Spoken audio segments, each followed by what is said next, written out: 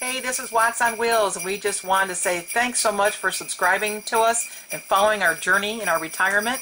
We really enjoy meeting up with you guys in campsites. We have a good time doing it. So, Merry Christmas and Happy New Year!